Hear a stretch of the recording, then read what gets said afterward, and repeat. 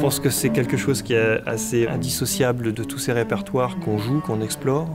C'est d'essayer de trouver l'instrument qui, est le, plus approprié. C'est vrai que la chance, quand on en a plusieurs, c'est de, de pouvoir essayer. Encore, j'ai hésité entre deux instruments. J'avais les deux instruments qui étaient sortis et je travaille à la maison avec l'un, avec l'autre et je dis non, je vais prendre, je vais choisir celui-là.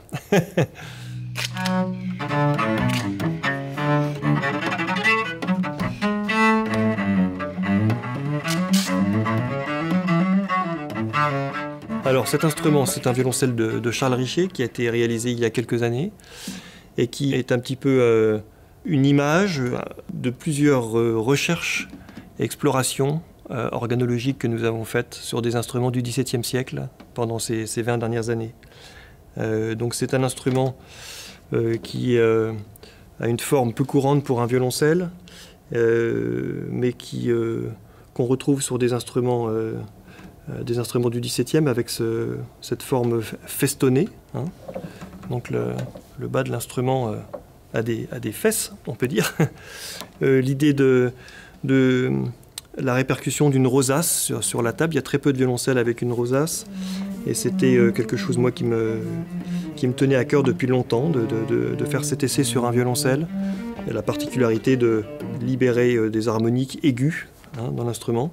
Et le fait de libérer des harmoniques aiguës, ça ressort sur la basse également. Alors c'est un instrument aussi qui est un peu particulier pour le fond, dans le sens que cet instrument euh, n'a pas un fond habituel du violoncelle, puisque nous avons euh, ici cette, euh, cette pliure, cette cassure qu'on retrouve sur les viols de gamme, mais par contre il a une voûte comme sur un violon.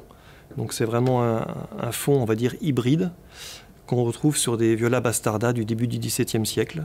L'autre particularité, c'est que cet instrument est monté avec euh, trois cordes en boyau pur et une seule corde filée. Ce qu'on pratique beaucoup maintenant, c'est deux et deux. Et depuis quelque temps, on explore des cordes en boyau nus de, de fort diamètre pour les basses, qui changent aussi l'obal de l'instrument.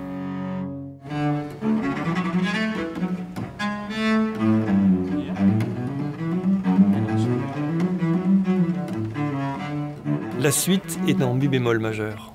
C'est une tonalité euh, peu pratiquée à cette époque pour le violoncelle.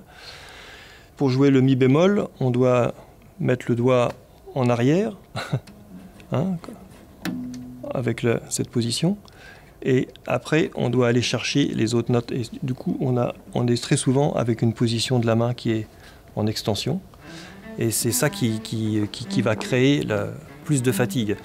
Et aussi, c'est lié avec le, son, avec euh, l'archer, dans la mesure où, comme on a moins de résonance harmonique dans cette tonalité avec l'instrument, on va dépenser plus d'énergie. Donc on va avoir envie d'appuyer plus le doigt sur la corde avec la main gauche, de façon à ce que le son sonne plus clair avec l'archer.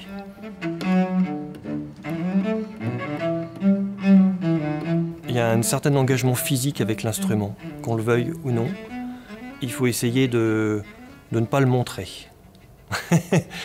Donc c'est quelque chose d'un peu, euh, peu particulier. Il y a toujours il y a, un challenge à jouer cette suite. Oui, il y a un challenge.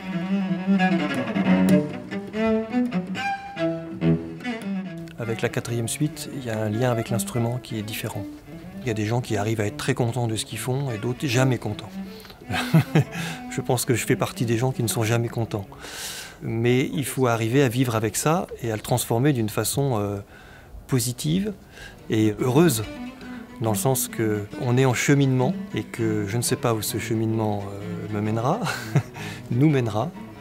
Il y, a, trop de choses importantes à dire euh, et toucher au plus juste pour tout, c'est difficile, surtout sur une pièce qui dure 25 minutes.